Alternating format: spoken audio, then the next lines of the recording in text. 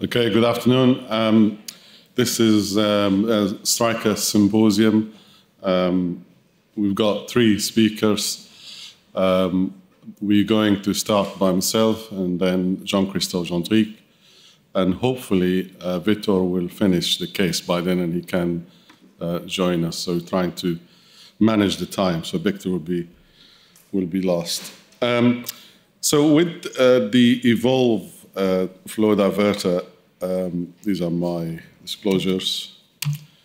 Um, it's a it's a journey that uh, uh, that the Surpass has been having. With uh, you're probably all familiar with uh, the previous uh, iteration of the, um, the Surpass. Um, the current one is the culmination of a lot of work and research done by, by the company and the engineers. And it's more or less uh, similar in terms of the degree of flow diversion and the pore density and porosity to the streamline system, which some of you might be uh, uh, familiar with. Um, the mesh density um, is more or less comparable to the previous one. The difference is the shape of the pores um, as you can see from this diagram, um, um, the uh, difference uh, is in shape rather than in size. In terms of the flow diverting effect, if you believe in CFD, it's more or less similar to the streamline. Um, and the design difference is that the current um, Surpass Evolve um, has more of a braid angle, which allows it to have more ability to open up better and also it gives it more radial force as well. So it, uh, it opposes the wall uh, better than um, uh, uh the, the streamline in a way. Radial pressure is, is pretty good. Um, it's two and a half uh, percent, uh, two and a half times higher than PED. Um, and it's available in several uh, sizes, as you, you might be aware of. It starts from the 2.5 up to 5 millimeters, and you, you'll be able to cover a vessel of up to 5.2 in diameter, and the length you can get up to 40 uh, in length um, with the larger diameters. Um, in our department, we uh, use the Surpass. We've been using it since the beginning or early on in 2019.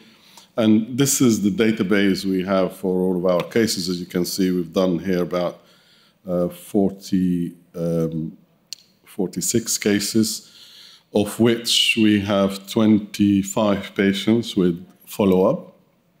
And I think the follow-up is, is uh, um, important because it does show that the device is more or less uh, similar in terms of the flow diverting effect, although there's design differences to the, to the previous iteration. Um, there are uh, um, several information available on this here, but uh, um, I'll go through some of these cases and we will highlight some of the issues. In terms of outcomes from our patients, we have no acute in-stent thrombosis, so it's been so far it's been pretty reliable. One patient had asymptomatic subarachnoid hemorrhage, um, for which we just managed the antiplatelet treatment um, for several days, and then we uh, put the patient back on antiplatelets. No clinical stroke observed, although two patients had a couple of uh, diffusion-weighted hits on their MR imaging. 25 patients so far had follow-up, and we had 19 patients with complete occlusion, about 76%, which is comparable to uh, what's available on the market to asymptomatic in-stent stenosis. I'll share some of these images with you. We always use a triaxial system with the Infinity. Obviously, depth is important. Uh, the XT27 is being used regularly with this device. Radial um, uh, access is also has been used for some of these cases. Uh, balloon, we, we're liberal in terms of using the balloon if we need to, but uh, as we said this morning, uh, we, we don't balloon just for the sake of it. I mean, unless there is a space between the balloon and the vessel, we don't tend to just balloon uh, these patients. This is uh, one of the cases we did. You can see uh, the, the small recurrence there from previous web, but there's also a small aneurysm here. both of them covered by the device, um, 8 French Infinity sheet, 5 French CAT, XT27, and a 4x7 device has been used. And you can see here the deployment of the device and the visibility is, is very good. Uh, this is on the old Siemens machine. You can see that it's uh, uh, quite reasonably visible. DynaCT done and uh, full apposition. This is a follow-up. The aneurysm has disappeared. The other one, you can see a line of intimal growth between the the, uh, the, the PCOM and, and the neck that remained open because of the PCOM. Um, uh, this patient had acute hydrocephalus following a large uh, recurrence of previously coiled ACOM. There is an azygos um, artery there, you can see, and there is a wide neck aneurysm which we coiled um, acutely. And this is the uh, one-year follow-up with a very large recurrence and the coils completely smashed. This patient presented with hydrocephalus at this stage, so she had a shunt, and then we decided to divert as well as coil in order to prevent any recurrence. And this is the flow diversion, first stent. Notice it's somewhere here, uh, but um, as we deployed, it dropped back down, and um, we had no issue going back again. Now it's dropped, so it's in the neck. And we had to go back up and deploy a second stent and then coil, as you can see here, um, uh, fully coil it and tightly coil it. And then the follow-up shows uh, complete uh, occlusion um, at six months as well. This is a lateral view. And this is the MR showing uh, uh, complete occlusion with no uh, much in the way of edema, although that was um, that was a a, a T1 weighted. So this is the second patient I'm going to share with you, which is a P23 aneurysm. Um, presented acutely with headaches. We were worried that it may rupture. Uh, I don't think there's this good surgical option here that perhaps you could argue you can occlude the aneurysm and the vessel. But we decided to uh, flow divert jail microcatheter, um, as you can see here. And then this is the device deployed. Uh, there is slight narrowing of the device here because of the vessel narrowing just before the aneurysm neck. Uh, once that's been done, and the device was deployed before the uh, basilar top as well. Uh, coiling was performed, and this is the outcome with stability at six months as well. Um, this is the pre and uh, that's post-treatment. You can see reduction in mass effect that this aneurysm has caused. Um, and this is the uh, six-month follow-up. Uh, another uh, case where we jail the microcatheter and coil. We tend to coil all the aneurysms that are 15 millimeters or higher to prevent any delayed hemorrhagic problems.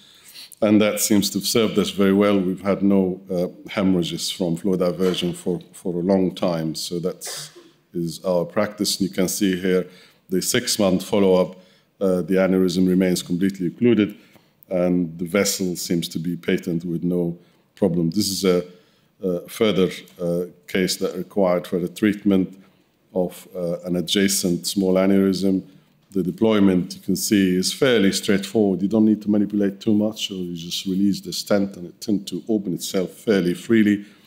Um, and uh, sometimes, as I said earlier, we, we tend to uh, balloon angioplasty, which we did, I think, in this case, as you can see here.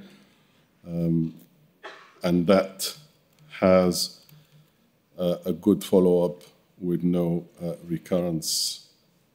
And this is the uh, follow up here. You can see the tiny filling at the neck of the uh, aneurysm to allow the vessel to remain patent rather than uh, anything else. This is one of the cases where we had in-stent stenosis, and uh, this is the follow up the aneurysm obviously has disappeared, but there is some in-stent stenosis. The way we deal with this, we keep the patient on dual antiplatelet for longer, and they tend to have a, a good outcome.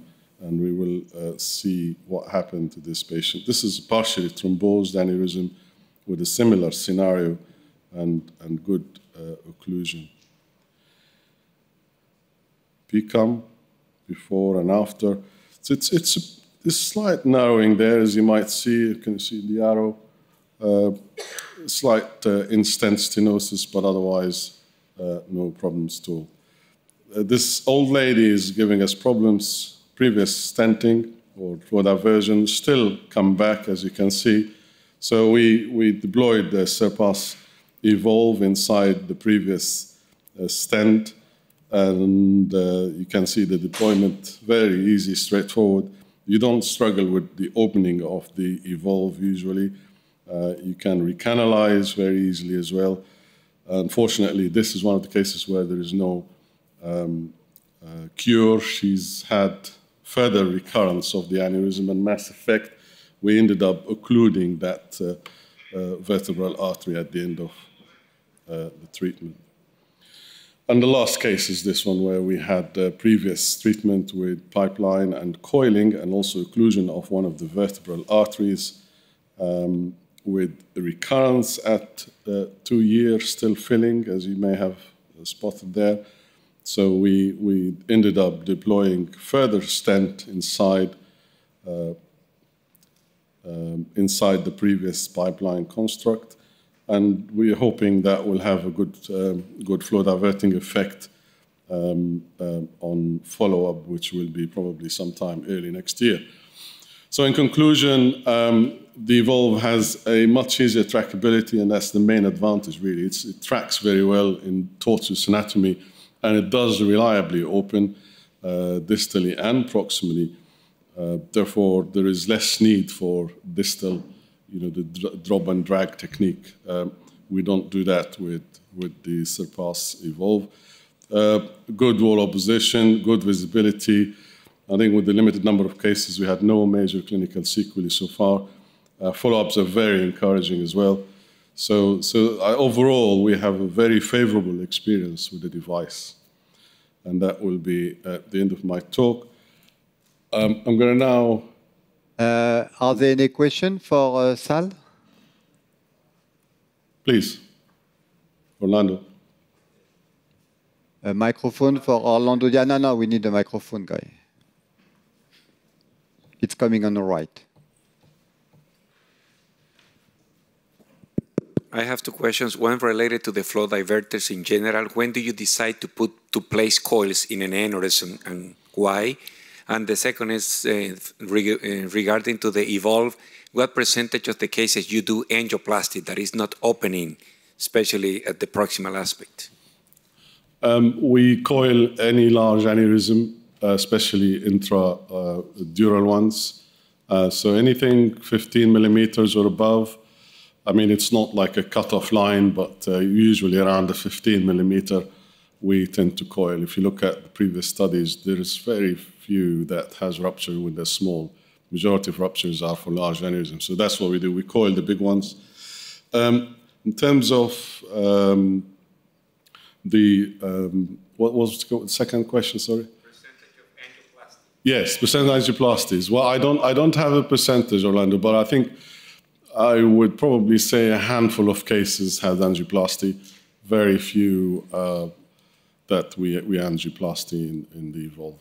It does tend to open really well, so it's... Uh, so, uh, Sal, we have uh, Victor available. Is it okay for you that we switch to Victor? Yeah. Um, okay. So, so Victor is going to talk about the global um, evolve experience, um, and also he will allude to some remote proctoring as well, hopefully. So over to you, Vitor.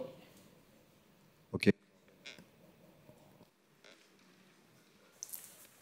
So good afternoon, everybody. We just finished the case. Uh, we will show we will show the images uh, uh, shortly. Uh, it's my pleasure to uh, talk about our experience with uh, Evolve. Uh, these are my disclosures, and thanks Stryker for the invitation and the collaboration. And this collaboration started uh, at the stages of uh, development. Was we had uh, a lot of uh, uh, learnings and fun while uh, helping the development of the device with the engineers. They had many trips to our lab and we tested the different interactions until get to the stage that we are here. And uh, a couple of these pictures with AJ that came for our first week of cases uh, in May 2018 actually demonstrate the beginning of a journey that uh, has come uh, very successfully, uh, very far along. And that uh, we did our the first cases and of evolve in patients, and, and over a week we had a couple of sets of eyes uh, from Alex Kuhn and AJ Wak-Lu working with us uh, here in, in, Toronto. And this is one of the cases that we have selected to start this experience because uh, during the, the, the, experimental phase, when we were evaluating and, and, and testing the device in models, we realized that uh, compared to other uh, self-expandable flow diverters, the Evolve had a fast opening and we could place uh, the device uh, very precisely regarding the distal end of the stent. So this is a 72-year-old that was part of our initial experience with pretty tortuous anatomy, with a, PCOM uh, carotid segment uh, aneurysm, and uh, and we we had planned to precise place a device below the bifurcation you can place in the MCA as well in cases, but we had, despite of having a very short landing zone, we thought that we would be confident using an Evolve because of its, its fast opening. So this is the working projection that, is, that we had planned. We have seen that sometimes when you cover systematically big vessels like the ACA, you may have uh, some uh, uh, stenosis in the long term. This is why we try to be precise if we can and this is the working projection to uh, control the proximal landing zone. And uh, this is the video of the initial deployment. Uh, despite of having a good control, we didn't manage the slack on the proximal curves. Uh, we didn't want to move the Cat5 forward. Probably if we had, we would have been more stable. But uh, another advantage of the device is the possibility to resheath and to reposition as we just did here. And then we moved a little bit forward. It, uh, it covers the distal marker pretty well. There's no bumps. And we actually were able to place, expand the device at the level of the anterior choroidal and deploy the device along with a very nice position as the, the XPER-CT is demonstrating. Initial good flow diversion, and six-month follow-up showing already complete occlusion. We do follow-ups with MRI, uh, with contrast, and that is a small artifact, but it's a little bit bigger compared to uh, nitinol stents, but we can still see the in-stent zone. So uh, we are pretty happy with results, and we can see and we can demonstrate the aneurysm occlusion. So this is another case, uh, ophthalmic aneurysm in a 45-year-old male patient. Uh, this this is a case that sometimes we may may see uh, we we may change the deployment technique a little bit. So uh, we had a good distal and good proximal landing zone. We have the interest to try to place the device at the mid portion of the cavernous segment. Uh, we don't need to try to be short and actually having the device landing the curves because uh, the braids will need uh, some length to actually overcome the curve and find a good apposition. So for a case like that, we can start as distal as we can, but proximally we have to try to land the device in the mid uh, straight segment a good centimeter away from a curve. So the, these are images from the procedure. So we have chosen a 5 by 20 uh, 5 millimeters because that was the size of the proximal uh, uh, landing zone, and 20 millimeters to make sure that we would go over the curve and have enough length. So as you can see here, despite of the curve, we had the stent opened and we actually moved the microcatheter and pushed the stent to actually reach this uh, opening, optimal opening as, as we, we would like to see. And this is the VASO-CT showing, and despite the discrepancy of diameters between the distal and the proximal landing zones, we have an apposition of the stent all along this geometry. So I, I, think this is, this is a stent that is, behaves very well uh, in this in this area, and this this is uh, one of the stents of choice that we use to treat uh, aneurysms at that location. And important is that the braiding angle has evolved also with the new generation of the Evolve, making the expansion and the apposition of the device way better than other devices or uh, than the previous generation of the Surpass. And this is the follow-up uh, showing that if you have a good position, most of these paraclinoid aneurysms will be uh, completely occluded at six months. So uh, on this uh, uh, development phase, we also evaluated the flow diversion of the Evolve, and we have compared in an experimental setup using optical flow imaging, which is a method that Philips developed. So we helped them on the research side developing this technology as well, using 60 frames per second and actually comparing the intraaneurysmal flow uh, compensated by the arterial flow before and after stent deployment, and you get a gradient, uh, uh, an index that actually uh, is correlated with aneurysmal occlusion. And we use it in an experimental setup to compare a 48 wire that is a pipeline with the Evolve, and we actually found a significant difference between the mean values of the MAFA demonstrating that the braiding angles and the 64 wires does influence, uh, it does improve flow diversion and does influence in the intraaneurysmal flow, at least on the experimental setup. So uh, we started uh, then, uh, since 2019, launching or helping the launch of this device uh, uh, all over the world, in North America, in Europe. and we had COVID last year. And uh, we have been uh, helping uh, and a lot of uh, uh, sites all over the world using the skill assist. This is the skill assist in one of our rooms. And we have the, the Proctor kit, and we connected to different sites all over the world. This is one of the colleagues in Brazil, Marco Turo, that is actually there preparing a procedure. And we actually were able to uh, uh, help and proctor uh, and support the launch of Evolve in, in different countries from Australia to Brazil. This is just the list of, of sites since March that we, we supported and helped different procedures. fortunately, all very successful also because of the level of operators that we have over there. And uh, this is also uh, uh, it's very comfortable to actually proctor a procedure using Evolve, uh, even uh, if uh, remotely, because it's a device that you can you can reliably understand and predict the next steps. You can. I, I have a technique of deployment that work in most of the cases, and then if you need to variate, it's in very few cases, depending on the anatomy of the, of, of the patient. And I'm very comfortable remote proctoring Evolve because of its, its consistencies its, and reliability. So we have reported with the team uh, of Gold Coast in Australia, Hal, Rice, and Laetitia.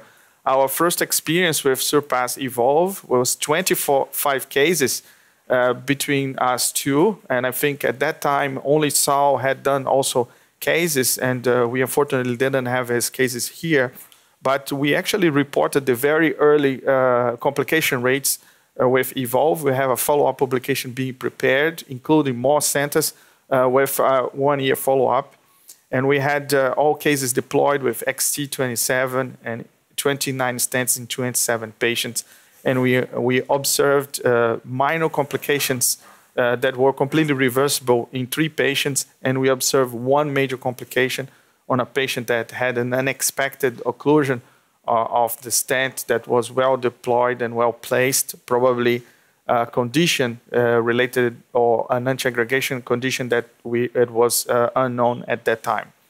So all patients had uh, good follow-up and end up with an MRS uh, 0 to 2, and we had no mortality, and we had one severe complication to date, there are other publications with uh, Evolve. There are uh, uh, publications uh, with midterm, six-month follow-up, our initial experience and other initial experiences with other centers, demonstrating occlusion rates varying from 71 to 86%, and the morbidity, uh, mortality from 2 to 12%. This is uh, ours, and, uh, and most of them were uh, uh, completely reversible. Um, and we have also experienced that even large sizes and large aneurysms, the device is consistent. This is a, a patient with 66 year old with cranial nerve compression that we actually treated with uh, an Evolve 5 by 40. And you will see that consistently you can deploy and oppose the device independent of the different uh, diameters of the arteries. And as you can see here on the Vaso CT, it does follow very well the anatomy of the patient and does open uh, in different uh, geometries and diameters and even in long sizes. So this is a month follow-up demonstrating already a complete occlusion. For a large aneurysm like that, is, uh, we don't see that fast occlusion, but this was a partially thrombosed aneurysm that just continued progress the, the occlusion of the aneurysm and was facilitated by the flow diverter. Uh, we have uh, the pleasure to be involved in the collection of prospective data with, uh, I'm the co-PI of the EVOLVE trial with Adam Arthur, and we have a, a brilliant uh, steering committee team that we meet regularly to deal uh, with the, the, the, enrollment and, uh, and, and to monitor the actions of the different sites. We are doing pretty well, and the aim of the EVOLVE trial is to recruit unruptured wide neck intracranial aneurysms less than 12 millimeters in the carotid and its branches, including distal cases uh, on, on non-bifurcating aneurysms. So we are looking forward to have this trial completed and actually to have uh, prospective data uh, to, to, to demonstrate to you in the future. Other uh, prospective studies underway, the IMPACT Registry, uh, Evolve EU, Impact Registry Evolve France, GENIS uh, Spanish Registry. They are all prospective studies monitored by Zsolt, Kulcsár from Zurich, uh, Jean-Christophe Gentric in French and uh, in France, and Juan Macho in, in Spain. So I would like to thank Stryker for uh, the successful launch and for involving us in many different activities and also on building on the building up of the clinical data. And I thank you for your attention. Thank you very much.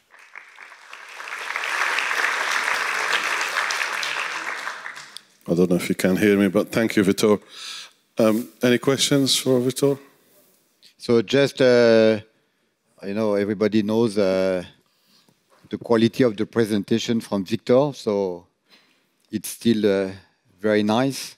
I'm amazed by the quality of the transmission as well. So it's yes. not a conventional Zoom, as you can appreciate. Very stable. You have a very good uh, sound, stable, nice picture of Victor. It looks like a professional because it is just professional uh, uh, transmission. Good. Thank you, Victor. It's wonderful. Yeah. Our uh, next speaker is Jean-Christophe Gentric uh, from um, the University of Brest uh, is going to talk to us about the skill assist and his experience with the skill assist. Hello, ladies and gentlemen. It's a real pleasure for me to talk today about this topic, about remote proctoring, and I will present you the two solutions I have experience with, the skill assist system for Stryker and the Lumis from Intradis up, um, my conflict of interest, and personally, what, what I think we no one know really the way we will work tomorrow. And in-person interaction are and will remain necessary for training. Remote proctoring, to my opinion, can help in many situations and have advantages. I'm 40 years old and quite concerned the way we, were, we are going to work in the near future. So when you look on PubMed, it's quite a trendy topic boosted by the COVID crisis. Um, you have 89 publications, but most of them for the last two years. And you have very recent publication in the INR field. You can see uh, this kind of publication during this summer. So if you want to read it, it's a little bit long, but it's about proctoring for uh, procedures, demonstration of concept using optical see-through head-mounted display, interactive mixed reality, and virtual space sharing in the COVID-19 pandemic. You, have this article and you have another one about augmented reality enhanced teleproctoring platform uh, to support a neuroendovascular surgery fellow. And I want to go through this, this presentation just to give you maybe a concrete idea of what's behind all these words. Uh, for the general presentation, it's quite easy to understand. You have on one side the patient and the physician, and on the other side the proctor, and uh, you have many means, headset or cameras, and you are able to follow the case uh, using a laptop of a workstation, and you have advantages, ecologic footprint for sure, probably the time, the money, and the ability to continue to collaborate despite the context. Um, I, Okay. Um, uh, how does it work? Um, it is based on cloud bilateral exchange using a secure 4G, 5G, Wi-Fi unblockable connection with total encryption of the data. It is GPDR approved and HIPAA compliant. You have multiple systems. I do not know all of them. Um, but by the, by the way, you have the physician side and you have videos from a fixed camera, pan tilt zoom camera, glasses. You have also solution for the audio, the glasses, the headset, the microphone. And on the other side, uh, you have a proctor platform and we will see um, the details. Uh, for the advantages, uh, for example, with the skill assist program. I see Vitor just have a word at the end of this talk. Uh, within six months, it is about 80 proctor case and customer VOC. It is 1.2 million miles saved, and it is um, represent uh, 40 world tours. Or, of course, you save your time. Uh, it's quite uh, complicated sometimes to find the day for proctoring the cases and you can add a proctor case in your daily schedule. Of course you save money and maybe the most important that you are able to continue to collaborate um, despite the, the, restriction and you can see the US regulation for the COVID crisis. And in case of before uh, it was mandatory uh, direct supervision. They allowed for new procedure and new uh, device real-time interactive audio and video technology to be used so the potential application, uh, just a quick list, a peer-to-peer -peer communication can be a long proctoring, quite um, classical one, but also emergency calls, fast calls. You can do live or record cases, training of non-medical people. Um, it can be useful in new indication, new device, and you can also use it in clinical trials, and I, I will, uh, I will show you. So just one quick, um, probably you ever use um, the, the skill assist system, but you have two cameras. One uh, is filming uh, your hand, the other one is filming the screen. And you also have so also the ability to communicate with the proctor using a noise cancellation Bluetooth headset with a 10 hours built-in battery. And on the other side, the proctor will use one all-in-one monitor to display the live feed.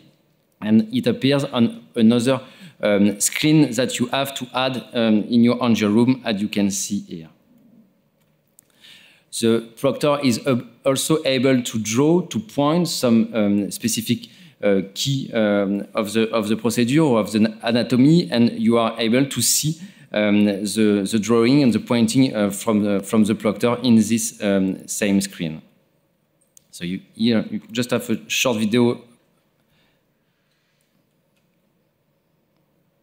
without the sound. So you can see here the proctor view uh, on the, uh, the right side is able to see the screen, to, to uh, zoom on the screen and um, to, to, to, follow the procedure. And at the bottom, you can also see uh, the monitor um, that the, the physician can, can use to, to see uh, what uh, the, the proctor can write on draw on his screen. Um, the proctor received two cameras in real time, so the, the, one for the imaging and the one for the hands, and have the control on both of the camera, and you can remotely move them to have a better, better view and uh, to, to focus on one point. You also have the possibility to point uh, on, on the screen, and for example, here it is the placement of a flow diverter. It just um, points the, the, landing zone after it discuss with the, the, physician to be sure that everything is fine and, and the, the procedure can end. Um, we try, uh, our very first time was a, a collaboration with the R&D uh, from new um, intrasaccular and flow diverter uh, devices, the intrasaccular, the Trenza intrasaccular from Stryker and the STREET study, and the Evolve flow diverter in the IMPACT study, as, as just Vitor mentioned. So uh, we work here in Brest, uh, the engineers are in Fremont. So um, the, the, the, kind of thing we've done before the procedure, we use 3D model specific of the patient, and we talk with the R&D about the strategy, the sizing, the device, and we were exchanging before uh, performing um, the uh, real uh, procedure the, the, day after, as you can see.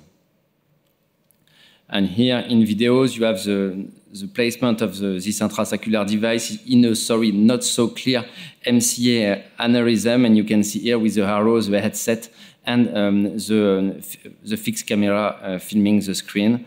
And uh, we were talking about sizing and uh, the way we have to place the mesh at the, at the neck uh, of, uh, of this aneurysm, uh, as you can see.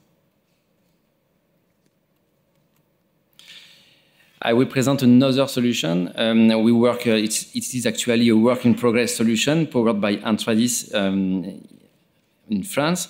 Um, the concept is quite not the same. It is all-in-one all in your glasses using the HoloLens from Microsoft and using also a laptop in the Angerip for the calculation and cloning. So you have all you need in the glasses, the audio, the video, and the ability to grab and to, to uh, examine uh, holograms I, I, I, will show you using the, the videos. And on the other side, using the same uh, 4G, 5G, or Wi-Fi um, cloud-based exchange, uh, you have um, a Proctor interface.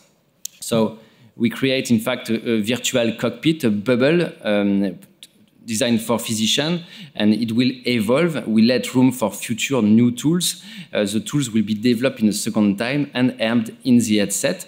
The goal is to, and the long-term objective is to have a, a patient-specific real-time help. So you have, of course, the audio, the video, a, a, chat, and a cloning of the large display. And you can see here the first videos. Um, so when you film an hologram, it is not so clear. Um, but if you try the headset, and you have to try, you will see it's quite crystal clear. You can see here the window with the proctor, with the chat uh, on the right, and you are able to, to place it anywhere in the room. For example, here it is specific images chosen by the proctor to help during the procedure. After you have also the 3D. You can see here you have to grab it and to put uh, at one place um, in the Angio suite, and, um, and you have the ability to manipulate all these, uh, these holograms, in fact. Concerning the, the 3D, you can make it quite big to, to improve the visualization, and you can um, uh, rotate and point some, uh, some uh, localization and to talk with, uh, with about. And you can see here the ability to grab the corner of a square and you are after able to, to rotate and to, to use it uh, like, uh, like you, it was a workstation. The concept, it is a concept of share object, holograms, and you have bilateral interaction on the virtual screen. It is a replication of the main screen and the virtual 3D, as you've seen. For example, here on the bottom right, you have the proctor is able to point in a replication of your large display uh, with the arrowhead, the thing you want to point. And you can do quite exactly the same with the 3D. The proctor has the 3D, he has the ability to rotate, to point, and you will see uh, the red arrow uh, just pointing you the aneurysm, the neck, the branches, and also the, uh, a yellow ring if you want to talk about um, the distal and proximal landing zone for a stent, for example. Here, the interface uh, of the proctor with a replication of the large display, the 3D and is able to see what the, the, the, physician is seeing. Also, you have a chat and the ability to uh, add images uh, for the procedure. I hope in the near future we will be able to integrate artificial intelligence tools to this ecosystem to help the, the physician to make the better choice.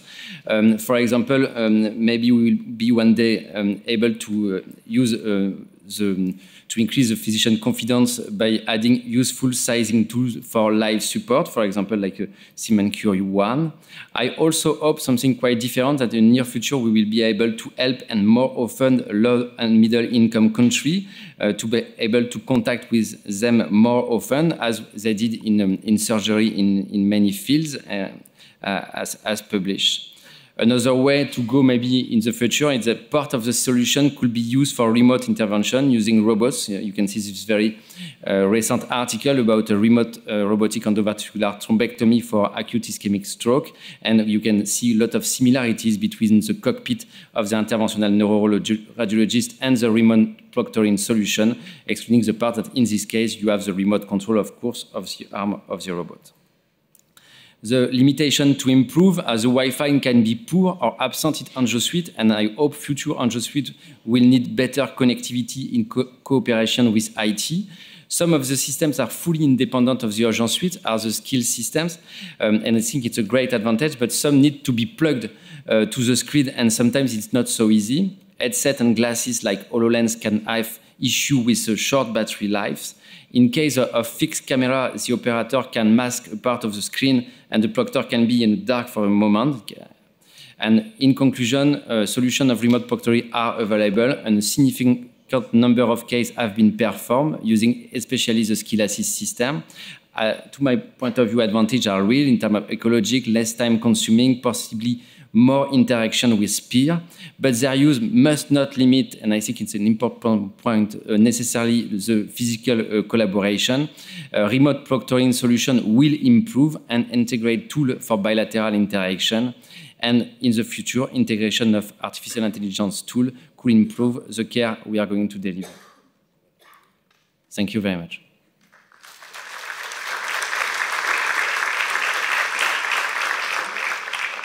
Thank you, Jean-Christophe. Any questions?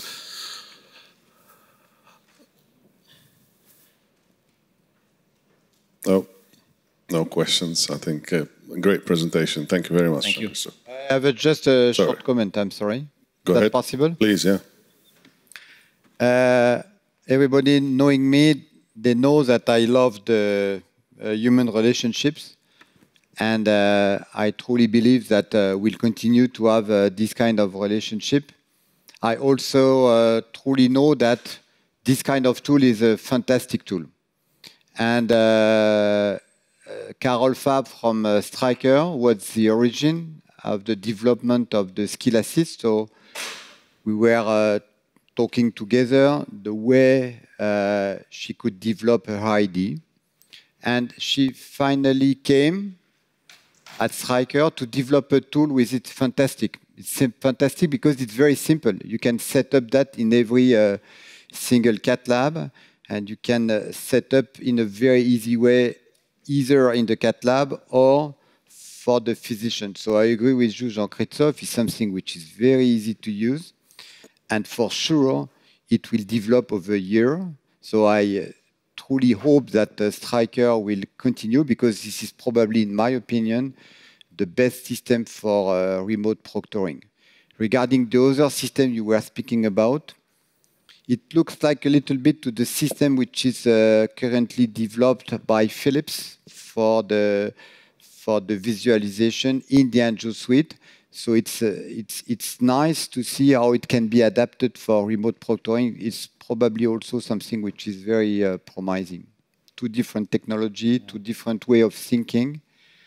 Uh, probably the second one will be a little bit more difficult to set up, maybe, I don't know. But it will bring something which is a virtual reality, which is for sure something very interesting. Yeah, I agree. And the only drawback or limitation is the connectivity. But maybe with 5G in the future, that will improve. Um, Otherwise, I tried it. It's very, very good system. Thank you, Jean-Christophe. Thank you. And that wraps up the Stryker Symposium for today. Over to you.